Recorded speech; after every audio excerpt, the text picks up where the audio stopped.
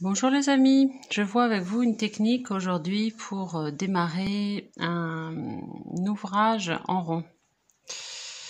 Alors vraiment la technique la plus simple, là je vous parle même pas de cercle magique ou de choses comme ça, on fait son nœud coulant, hop, ah, je fais une bêtise déjà sur mon nœud coulant, hop, on passe son crochet, hop là, voilà. Je vais monter par exemple 5 mailles en l'air. 1, 2, 3, 4 et 5 mailles en l'air.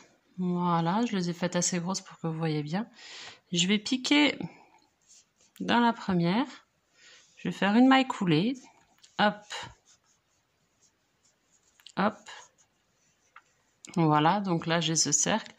Et maintenant, je vais piquer mes mailles au centre de mon cercle. Parce que si je pique sur le, dans les mailles, ça va pas être très joli. Mettons, je vais faire 6 mailles serrées. 1. Donc, je pique toujours au milieu. 2. Toujours au milieu. 3. 4.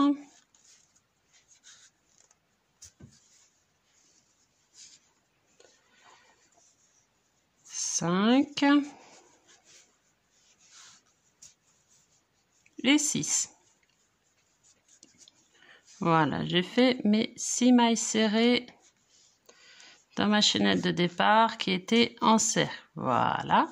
Donc on compte 1, 2, 3, 4, 5, 6. J'ai bien mes 6 mailles serrées. Et maintenant, pour augmenter, je vais faire des doubles mailles dans chaque euh, maille serrée. Donc là, je vais faire une augmentation. Je vais piquer ici. Alors, je l'avais fait un peu serré.